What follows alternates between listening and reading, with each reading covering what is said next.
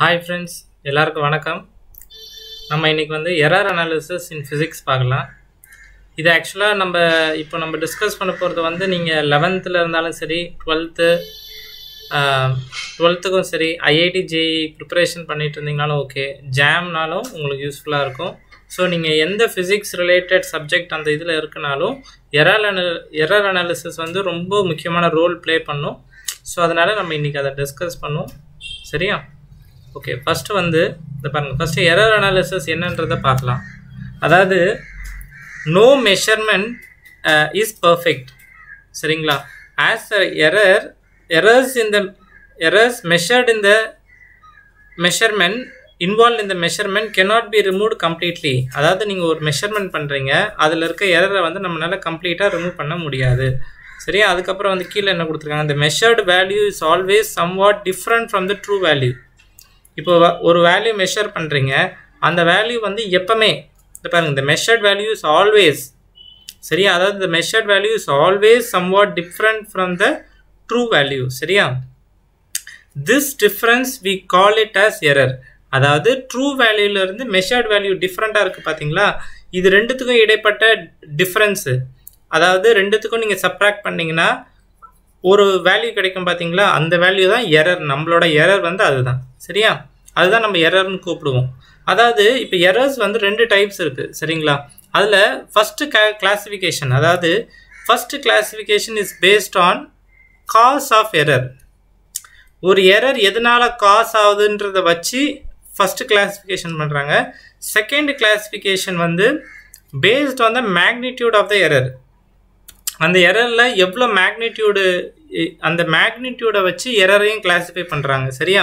அப்போது first classification வந்து systematic error ஒன்று இருக்குது ரேண்டம் எரர் இப்போது சிஸ்டமேட்டிக் அண்ட் ரேண்டம் எரரை வந்து பார்க்கலாம். அதுக்கடுத்து நம்ம absolute error mean absolute error relative or fractional எரர்ன்றதை பார்க்கலாம். சரியா? ஸோ ஃபஸ்ட்டு இதில் நம்மளுக்கு ரெண்டு கேசஸ் இருக்குது செகண்ட் கிளாஸிஃபிகேஷனில் மூணு கேசஸ் இருக்குது சரியா? இப்போது we are going to discuss them separately ஒன்று தனித்தனியாக பார்க்க போகிறோம் இதில் ஃபஸ்ட்டு வந்து systematic errors see these errors whose cause is known இப்போது ஒரு மெஷர்மெண்ட்டில் எரர் வருதுன்னா அதுக்கு எந்த காரணத்துக்காக எரர் வந்ததுன்னு தெரியறது வந்து சிஸ்டமேட்டிக் எரர்ஸ் அதாவது அந்த எரர் வந்ததுக்கான காரணம் உங்களுக்கு தெரிஞ்சதுன்னா அந்த எரரை வந்து சிஸ்டமேட்டிக் எரருக்குள்ளே நம்ம சேர்த்துப்போம் அப்படின்னு சொல்கிறாங்க so following the below procedure to minimize the systematic errors இந்த சிஸ்டமேட்டிக் எரர்ஸை எப்படிலாம் குறைக்கலாம் அப்படின்றத பார்க்கலாம். அதாவது இன்ஸ்ட்ருமெண்டல் எரர்ஸ் இப்போ ஒரு என் ஒரு இன்ஸ்ட்ருமெண்ட்டை யூஸ் பண்ணி மெஷர் பண்ணுறீங்கன்னா அந்த இன்ஸ்ட்ருமெண்ட்டில் எரர் இருந்ததுன்னா எக்ஸாம்பிள் வர்னியர் கேலிபர் பண்ணியிருப்போம் அதில் வந்து ஜீரோ கரெக்ஷன்லாம் ஜீரோ கரெக்ஷன் ஜீரோ எரர்லாம் நம்ம கரெக்ட் பண்ணியிருப்போம் ஆட் பண்ணியிருப்போம் சப்ராக்ட் பண்ணியிருப்போம் க எரர் வேல்யூவை ஸோ அதெல்லாம் அதுதான். இப்போ நீங்கள் வெர்னியர் கேலிபர் இன்ஸ்ட்ருமெண்ட்னு எடுத்துக்கிட்டிங்கன்னா ஸோ அந்த இடத்துல சில வர்னியர் கேலிப்பர் அக்யூரேட்டாக இருக்கும். சில இது வந்து எரரோடு இருக்கும். ஸோ பாருங்கள் error due instrument errors due to uh எரர்னஸ் instruments. இன்ஸ்ட்ருமெண்ட்டில் எரர் இருந்தால் அப்போ அந்த இன்ஸ்ட்ருமெண்ட்டில் எரர் இருக்கிறது நம்மளால தெரியுது இல்லையா? கண்டுபிடிக்க முடியுது இல்லையா? அதனால தான் அதை சிஸ்டமேட்டிக் எரர்ஸ்குள்ளே சேர்த்துக்கிட்டோம். அதாவது காஸ் ஆஃப் எரர் வந்து நம்மளுக்கு தெரிஞ்சிருந்தது. ஸோ திஸ் இஸ் கா this is reduced by using more accurate instruments நீங்கள் அந்த அந்த டிஃபெக்டான இன்ஸ்ட்ருமெண்ட் அதாவது பாலான இன்ஸ்ட்ருமெண்ட்டை தவிர ஒரு நல்ல இன்ஸ்ட்ருமெண்ட் யூஸ் பண்ணி கூட நீங்கள் எரரை குறைக்க முடியும். அப்புறம் என்ன பண்ண முடியும்னா applying zero error or zero correction இது வந்து நம்ம வேர்னியர் கேலிப்பர் டிஸ்கஸ் பண்ணும்போது அப்போது இதை பற்றி என்னன்றதை பார்க்கலாம். சரியா? ஜீரோ எரர் ஜீரோ கரெக்ஷன் சரிங்களா? அதெல்லாம் அது என்னென்னா நீங்கள் ஒரு எரர் இருக்குன்னா அந்த எரரை நீங்கள் வந்து ஃபைனல் வேல்யூ மெஷர் பண்ணியிருப்பீங்களே அது கூட ஆட் ஆர் சப்ராக்ட் இது ரெண்டுத்தில் ஏதாவது ஒன்று பண்ணும்போது இந்த zero error or zero correction அங்கே வரும். ஸோ இதை வந்து நம்ம வெர்னியர் கலைப்பர் படிக்கும்போது டிஸ்கஸ் பண்ணலாம். ஸோ இன்னும் ஒரு ஒரு டூ டு த்ரீ வீக்ஸில் உங்களுக்கு அந்த உங்களுக்கு கூடிய விரைவில் அந்த லெக்சர் வந்து போட்டிருப்பேன். ஸோ அப்படி போட்டிருந்தேன்னா உங்களுக்கு லிங்க் இப்போது மேலே வந்திருக்கும். சரியா? ஸோ அடுத்து என்னென்னு பார்க்கலாம். Something sometime error can occur due to ignoring certain facts சில நேரத்தில் எரர் வந்து நம்ம சில ஃபேக்ட்ஸை வந்து கண்டுக்காமல் விட்டுருக்கும் போது அந்த இடத்துல எரர் வந்து நம்மளுக்கு தெரியாமல் வந்துடுது நம்மளுக்கு தெரியுது பட் இக்னோர் பண்ணிடுறோம் அதை பெருசாக கண்டுக்காமல் இருக்கிறது. இல்லையா? ஸோ இங்கே பாருங்கள் எக்ஸாம்பிளில் in a simple pendulum experiment we ignore air resistance air ரெசிஸ்டன்ஸை நம்ம வந்து கண்டுக்காமல் விட்டோம்னா அந்த இடத்துல அதாவது நம்ம டிரைவ் பண்ணுற ஃபார்முலாவில் ஜென்ரலாக ஏர் ரெசிஸ்டன்ஸை எடுத்துருக்க மாட்டோம். அதாவது T equal to two pi root of L by g இருக்கு இல்லையா? இந்த இடத்துல நம்ம வந்து ஃபார்முலாவில் ஏர் ரெசிஸ்டன்ஸை எடுத்திருக்க மாட்டோம். ஆனால் நீங்கள் லேபில் பண்ணும்போது அந்த இடத்துல ஏர் ரெசிஸ்டன்ஸ் ஒரு காற்று காற்று அதிகமாக உள்ள இடத்துல நீங்கள் அப்படி பண்ணீங்கன்னா அந்த இடத்துல வந்து நம்மளோட சிம்பிள் பென்ட்ரம் எஸ்ட் சிம்பிள் பென்லம் இது யூஸ் பண்ணும்போது அதில் வந்து டைம் பீரியட் மெஷர் பண்ணுவோம்ல டி அந்த இடத்துல அந்த வேல்யூ வந்து அஃபெக்ட் ஆகும். அதாவது in simple pendulum எக்ஸ்பிர experiment we ignore air resistance this error can be reduced this error can be reduced by applying appropriate corrections to the formula we used சரியா? சில கரெக்ஷன்ஸ்லாம் நீங்கள் அந்த ஃபார்முலாக்கு பண்ணி மோர் அக்யூரேட்டாக ஏர் ரெசிஸ்டன்ஸ் இருந்தாலும் அதுக்கேற்ற கரெக்ஷனை அந்த ஃபார்முலாவில் அப்ளை பண்ணி நம்மளால் குறைக்க முடியும். சரியா? அடுத்து அதுக்கு அடுத்து change in temperature pressure humidity சரிங்களா? அதாவது சேஞ்ச் இன் டெம்பரேச்சர் ப்ரெஷர் ஹியூமிடிட்டினா ஹியூமிடிட்டின்றது வந்து ஈரப்பதம் ப்ரெஷர்ன்றது வந்து நம்மளுக்கு தெரியும் ஃபோர்ஸ் பர் யூனிட் ஏரியா இது வந்து சேஞ்ச் இன் டெம்பரேச்சர் இப்போ நீங்கள் ஒரு எக்ஸ்பெரிமெண்ட் பண்ணிட்டு இருக்கீங்க பண்ணிட்டு இருக்க இடத்துல வந்து டெம்பரேச்சர் சேஞ்ச் ஆனாலோ ப்ரெஷர் சேஞ்ச் ஆனாலோ அதாவது ஈரப்பதம் சேஞ்ச் ஆனாலும் நம்மளுக்கு வந்து அதில் வந்து எரர் காஸ் ஆகும். அதுதான் இந்த இது. அதாவது change in temperature pressure humidity extra can also sometime cause error in the result the relevant correction can be made to minimize it so அந்த இடத்துல என்ன பண்ணணும்? நீங்கள் எக்ஸ்பெரிமெண்ட்டே வந்து டெம்பரேச்சர் சேஞ்ச் ஆகாமல் ஒரு ஐசோலேட்டட் இடத்துல இருந்து பண்ணிங்கன்னா உங்களுக்கு இந்த எரர் வந்து ரெடியூஸ் ஆகும். சரியா? அடுத்து ரேண்டம் எரர்ஸ்ன்றதுக்கு போயிடலாம். அதாவது இந்த எரர்ஸ் வந்து நம்மளுக்கு ஏன் வந்ததுன்றது தெரியாது. இந்த ரேண்டம் எரர்ஸ்ன்றது ரேண்டம்னு அதனால தான் பேர் வச்சுருக்காங்க. அதனால் அதை நம்ம ப்ராப்பராக கண்டுபிடிக்க முடியாதனால அது பேர் ரேண்டம் அப்படின்னு வச்சுருக்காங்க. சரியா? These errors are not known it is not possible to remove them completely these errors are not known it is not possible to remove them completely இந்த எரர் வந்து உருவாயிருக்கு இல்லையா இந்த ரேண்டம் எரர்ஸ் கீழே வர எரர் எல்லாமே வந்து நம்மளால் கம்ப்ளீட்டாக ரிமூவ் பண்ண முடியாது இப்போ எக்ஸாம்பிள் பார்க்கலாம் reading reading taken from a sensitive beam balance can change due to the vibration in building due to the persons moving in the laboratory or vehicles running nearby அதாவது beam பேலன்ஸ்ன்றது இங்கே என்ன? ஒரு தெராசு இல்லையா?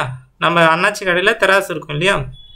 ஸோ அந்த தெராசு சில நம்ம ரொம்ப லேப் ரொம்ப சஃபஸ்டிகேட்டட் லேப்ஸில் நம்ம வந்து ரொம்ப சென்சிட்டிவான பீம் பேலன்ஸ் அதாவது ரொம்ப அக்யூரேட்டான பீம் பேலன்ஸு ஒரு சின்ன டெசிமல் பாயிண்ட் கூட மிஸ் பண்ணாத அளவுக்கு எடுக்கிற ரீடிங்ஸ்லாம் இருக்குது லேப்ஸில் ரொம்ப பெரிய பெரிய இன்டர் யூனிவர்சிட்டிஸ்லலாம் இருக்கும். இண்டஸ்ட்ரீஸ்லாம் வச்சுருப்பாங்க. ஸோ அந்த பீம் பேலன்ஸ் இருக்கு இல்லையா? சென்சிட்டிவ் பீம் பேலன்ஸ் இருக்கு இல்லையா? அது வந்து பக்கத்தில் யாராவது அந்த லேபில் இருக்கவங்களே பக்கத்தில் யாராவது நகர்ந்தா கூட அந்த இடத்துல அதோட ரீடிங் வந்து அஃபெக்ட் ஆகுது. ஸோ அது அதுதான் வந்து இந்த ரேண்டம் எரர்ஸ் சரியா? ஸோ என்ன சொல்கிறாங்கன்னா these error can be reduce by repeating the observation large number of times ஒரே மெஷர்மெண்ட்டை நிறைய தடவை எடுக்கும்போது நம்மளுக்கு வந்து ஒரு ஒரு ஒரு மீன் வேல்யூ அதாவது என்ன சொல்கிறாங்கன்னா நீங்கள் நிறைய தடவை மெஷர் பண்ணிவிடுங்க பண்ண இதை நீங்கள் மீ அர்த்தமெட்டிக் மீன் எடுங்க ஆஃப் ஆல் த அப்சர்வேஷன் அப்படி எடுத்தோன்னா நம்மளுக்கு வந்து அப்சல்யூட் ட்ரூ வேல்யூ வந்து கிடைக்கிறதுக்கு அதிகமான வாய்ப்பு இருக்குது என்ன சொல்கிறாங்கன்னா இந்த mean value would be very close to most accurate reading அதாவது மீன் இப்போ நம்ம எப்படி எடுப்போம்? இப்போ எக்ஸாம்பிள் வந்து ஒன்று ரெண்டு மூணு எல்லாமே வந்து இப்போ நீங்கள் ஒரு குறிப்பிட்ட வெயிட்டை இப்போ வெயிட்டே மெஷர் பண்ணுறோம் பீ பேலன்ஸ் பீம் பேலன்ஸில் அதாவது ஒரு தெராசில் வெயிட் மெஷர் பண்ணுறோன்னா அந்த தெராஸில் வெயிட் மெஷர் பண்ணும்போது அதே தெராஸை வச்சுட்டு ஒரு நிறைய ரீடிங் ஒரு two minutes once three minutes once அப்படி எடுத்துக்கிட்டே நீங்கள் இருந்தீங்கன்னா ஒரு நூறு ரீடிங் எடுக்கிறீங்கன்னு வச்சுக்கோங்களேன். மேலே இருக்க எல்லா ரீடிங்கும் நூறு ரீடிங்கை ஆட் பண்ணிவிட்டு டிவைடட் பை நூறு. அதாவது என் வந்து நீங்கள் எத்தனை தடவை ரீடிங் எடுத்திருக்கீங்க? டிவைடட் பை எத்தனை எத்தனாவது ரீடிங் டிவைடட் பை எத்தனை ரீடிங் எடுத்திருக்கீங்க? என்னன்றது பண்ணோன்னா நம்மளுக்கு மீன் கிடச்சிரும். அந்த மீன் வேல்யூ வந்து நம்மளுக்கு அக்யூரேட் வேல்யூ இருக்கோட க்ளோசஸாக இருக்க வாய்ப்பு இருக்குது க்ளோசஸாக இருக்கும். சரியா? அப்சல்யூட் எரர் இங்கே அப்சல்யூட் எரர் வந்து த டிஃப்ரென்ஸ் பிட்வீன் இப்போது இங்கே அப்சல்யூட் எரர் பார்க்கலாம். So the டிஸ்ட் difference between the true value and the measured value is called as absolute error அதாவது நீங்கள் இப்படி எடுத்துக்கோங்களேன். ட்ரூ வேல்யூ வந்து ஒரு வேல்யூ இருக்குது எக்ஸாம்பிள் நீங்கள் வந்து ஒரு குறிப்பிட்ட ஒரு லைனு அந்த லைனோட லென்த்து வந்து த்ரீ மீட்டர்னு எடுத்துக்கோங்க. இதை நீங்கள் வந்து ஒரு டேப்பு மெஷரிங் டேப் வச்சு மெஷர் பண்ணுறீங்கன்னா அது வந்து two point eight eight nine centimetre three சென்டிமீட்டருக்கு வர வேண்டிய இடத்துல two point eight three centimetre அதாவது ரொம்ப டெசிமலில் அக்யூரேட் ட்ரூ வேல்யூக்கு நிகரான க்ளோசஸ்ட் வேல்யூவாக வந்துச்சுன்னா இப்போது நீங்கள் ட்ரூ வேல்யூ மைனஸ் அந்த நீங்கள் மெஷர் பண்ண வேல்யூ அதாவது three minus two point eight nine அப்படின்ற வேல்யூ மெஷர் டிஃப்ரென்ஸ் போட்டோன்னா ஒரு வேல்யூ கிடைக்கும்ல பாயிண்ட் த்ரீல பாயிண்ட் ஜீரோ இதில் கிடைக்கும் இல்லையா? பாயிண்ட் ஒன் ஒன் அப்படின்னு கிடைக்கும் இல்லையா? ஸோ அந்த வேல்யூ தான் நம்மளுக்கு இங்கே வந்து அப்சல்யூட் எரர் இது எப்படி பண்ணுறாங்கன்ற கால்குலேட் பண்ணுறாங்கன்றத பார்க்கலாம். அதாவது நம்மளுக்கு என்ன தெரியும்? மீன் வேல்யூ வந்து நம்ம எப்படி கால்குலேட் பண்ணுவோம்? நம்ம total reading divided by N போட்டால் மீன் கிடச்சிருமா? இந்த மீனை நம்மளுக்கு வந்து ஒரு ஒரு வேல்யூலேருந்து சப்ட்ராக்ட் பண்ணணும். அதாவது இங்கே என்ன பண்ணியிருக்கேன் பாருங்கள் இது mean value minus A one நீங்கள் ஒரு விஷயத்த நோட் பண்ணலாம். இந்த ஏஎம்ஏ வந்து நம்ம வந்து ஏ சம்மேஷனில் இருந்தால் கால்குலேட் பண்ணியிருக்கோம். அதாவது நான் என்ன சொல்ல வரேன்னா இந்த ஏஎம் வந்து இந்த ஏஎன்னை டிபெண்ட் பண்ணி தான் இதை கால்குலேட்டே பண்ணியிருக்கோம். ஏஎம்ஏ ஏ ஏ ஒன்னை டிபெண்ட் பண்ணி தான் இருக்குது ஆனாலும் நம்ம வந்து அப்சல்யூட் ஏரர் கால்குலேட் பண்ணுறதுக்கு ஏஎம் மைனஸ் ஏ ஒன் அப்படின்னு போடணும். சரியா? ஸோ அதே மாதிரி எல்லா இதுக்கும் கால்குலேட் பண்ணிங்கன்னா எல்லா ஒரு ஒரு மெஷர்மெண்ட்டுக்குமே ஒரு ஒரு அப்சல்யூட் எரர் இருக்கும். சரியா? இங்கே ஏ டெல்டா ஏ ஒன்னுன்றது வந்து absolute error of A one இது absolute error of A nth measurement so இதில் இன்னொரு விஷயம் என்னென்னா நோட் இதில் என்ன நோட் பண்ணோம்னா நம்ம absolute error can be positive or negative ரெண்டு சான்சஸ் இருக்குது பாசிட்டிவாகவும் இருக்கலாம் நெகட்டிவாகவும் இருக்கலாம். சரியா? அடுத்து வந்து measured of mean absolute error அதாவது arithmetic mean of the magnitude நம்ம என்ன சொன்னோம்? அப்சல்யூட் எரர் வந்து பாசிட்டிவாகவும் இருக்கலாம் நெகட்டிவாகவும் இருக்கலாம் இல்லையா? ஸோ இப்போ அவங்க என்ன சொல்கிறாங்கன்னா மீன் அப்சல்யூட் எரர் எப்படி கால்குலேட் பண்ணோன்னா arithmetic mean of all the absolute error பாருங்கள் அர்த்தமெட்டிக் மீன் ஆஃப் இந்த பாருங்க. Arithmetic mean of magnitude of absolute errors அதாவது மேக்னிடியூட் ஒரு ஒரு அப்சல்யூட் எரர் பாசிட்டிவாக இருந்தால் நெகட்டிவ் சாரி நெகட்டிவாக இருந்தால் பாசிட்டிவ் பாசிட்டிவாக இருந்தால் அப்படியே எழுதி கம்ப்ளீட்டாக சம்மேஷன் பண்ணி டிவைடட் பை என் பண்ணணும். அதாவது இங்கே கொடுத்துருக்காங்க பாருங்கள் எல்லாத்தையும் மாடலஸ் போட்டு எழுதிட்டு டிவைடட் பை என் போட்டோன்னா நம்மளுக்கு அதுதான் வந்து மீன் அப்சல்யூட் எரர் சரியா? அடுத்து இப்போது நம்ம அப்சல்யூ மீன் அப்சல்யூட் எரர் கண்டுபிடிச்சிட்டோம். அதுதான் வந்து டெல்டா ஏ மீன். இப்போது உங்ககிட்ட யாரோ கேட்குறாங்க இப்போ உன்னோட ஃபைனல் வேல்யூவை கொண்டு வாப்பா. நீ லேபில் மெஷர் என்ன மெஷர் பண்ணியோ அதோட ஃபைனல் வேல்யூ கேட்டாங்கன்னா நீங்கள் என்ன பண்ணணும்? மீன் வேல்யூ கால்குலேட் பண்ணியிருப்பீங்களா அந்த பர்டிகுலர் மெஷர்மெண்ட்டுக்கு பர்டிகுலர் எதை மெஷர் பண்ணுறீங்களோ அதுக்கு ஒரு மீன் வேல்யூ வந்திருக்கும்ல. அது plus or minus delta A mean இதுதான் வந்து நீங்கள் கொடுக்க போகிற ரிசல்ட்டு ஏன்னா இது இது இது எதை குறிக்குதுன்னா இந்த பாருங்கள் இந்த பாக்ஸ் போட்டுக்கிறது எதை குறிக்குதுன்னா இது ரொம்ப முக்கியம். அதனால தான் இதை நம்ம கொஞ்சம் டீட்டெயிலாக பார்க்குறோம். இது என்ன குறிக்குதுன்னா this means the value of A is likely to lie between அதாவது இந்த வேல்யூ ஆஃப் ஏ இருக்குது பார்த்தீங்களா இந்த ஏ வந்து AM plus del A mean and AM minus del A mean இதுக்கு ரெண்டுத்துக்கும் நடுவில் தான் அந்த ஏவோட வேல்யூ இருக்கலாம். ஏன்னா எரர்லாம் இருக்குது பார்த்தீங்களா நம்ம இன்ஸ்ட்ரு இன்ஸ்ட்ருமெண்ட்ஸில் நிறைய எரர் வந்திருக்கும் இல்லையா? அதனால் நம்மளால் அக்யூரேட்டாக சொல்ல முடியல இந்த ஏவோட வேல்யூவை நம்ம என்ன சொல்கிறோம் A mean del A mean sorry AM plus AM plus del A mean and இதுக்குள்ள அதாவது ஏஎம் மைனஸ் டெல் ஏ மீன்குள்ளே தான் இருக்க வாய்ப்பு இருக்குது அப்படின்னு நம்ம சொல்கிறோம் so relative error or fractional error இந்த பாருங்க relative error or fractional error the ratio of mean absolute error to the mean value நம்ம மீன் அப்சல்யூட் எரர் கால்குலேட் பண்ணோம்ல அதுக்கு டிவைடட் பை மீன் வேல்யூ போட்டோம்னா அதுதான் ரிலேட்டிவ் எரர் கீழே கொடுத்துருக்காங்க பாருங்கள் இது வந்து என்னது? மீன் அப்சல்யூட் எரர் இல்லையா? Divided by mean of the measurements போட்டோன்னா அதுதான் நம்மளுக்கு வந்து ரிலேட்டிவ் எரர் அது கூட நீங்கள் ஹண்ட்ரடை மல்டிப்ளை பண்ணிங்கன்னா அது வந்து பர்சன்டேஜ் எரர் சரியா? இதெல்லாம் ரொம்ப ரொம்ப முக்கியமான விஷயங்கள். ரொம்ப பார்க்க சிம்பிளாக தெரியும்.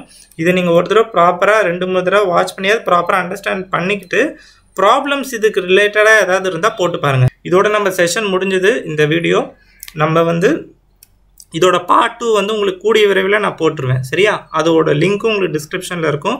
அதுக்கப்புறம் இந்த பிடிஎஃப் நம்ம யூஸ் பண்ணியிருக்கோம் இல்லையா? இந்த பிடிஎஃப்பை வந்து உங்களுக்கு வந்து நான் டிஸ்கிரிப்ஷனில் அதோட லிங்க் கொடுத்துருக்கேன். சரியா? கூகுள் ட்ரைவில் லிங்க் கொடுத்துருக்கேன். Thank you